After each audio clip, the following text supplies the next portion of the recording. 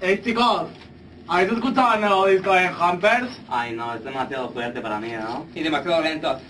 Lentos, demasiado rápido, Ay, tío. yo prefiero Daylight. Yo también.